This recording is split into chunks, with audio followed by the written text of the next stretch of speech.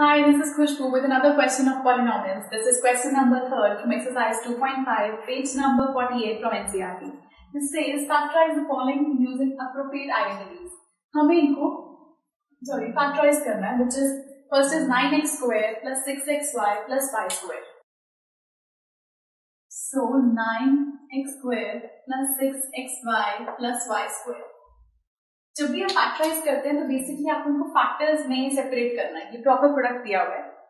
तो जो आपके पास फ़र्स्ट टर्म है यहाँ पर, इसको हम लिख सकते हैं थ्री एक्स का स्क्वायर और ये लास्ट टर्म को हम लिख सकते हैं वाई का स्क्वायर और अगर इसको देखा जाए तो कुछ ऐसे आया two into three x into y basically हमने इसका किया स्क्वायर इसको लिखा स्क्वायर में। मतलब इसको किस तरीके से लिख सकते हैं?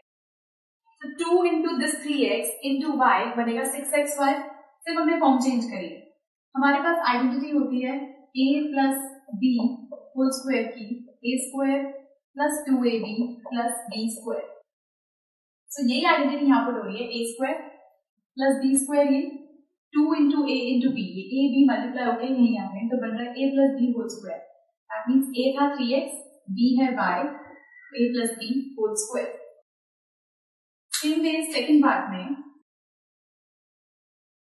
हमारे पास है four y square minus four y plus one. अब इसके अंदर बनता है ये टू बाय का होल स्क्वायर और लास्ट टर्म को हम लिख सकते हैं वन का स्क्वायर। और यहाँ पर माइनस साइन है देन टू इंटू ए है टू वाई इंटू बी है वन आइडेंटिटी हमारे पास होती है a minus b whole square की।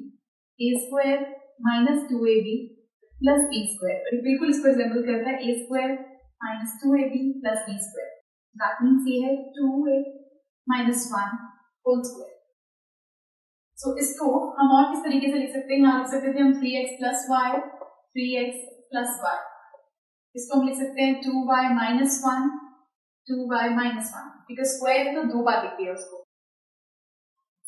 थर्ड पार्ट में x square minus y square इसको लिख सकते हैं एक्स का square minus y by ten का स्क्वायर y बाय टेन का स्क्वायर करेंगे तो आएगा y square by hundred so ये आइडेंटिटी है a square minus b square which is a plus b a minus b so यहाँ पर भी a square minus b square है तो हम लिखेंगे a which is x plus b which is y plus ten और a minus b ये हमारे पास factors uh so if you see the last video वहाँ हमने प्रोडक्ट्स फाइंड किए थे और ये निकाला पॉलिनोमियल अब हमें इन पॉलिनोमियल से इनको फैक्टराइज करना So this was third question from exercise 2.5 and do watch the next video for some more questions. Goodbye.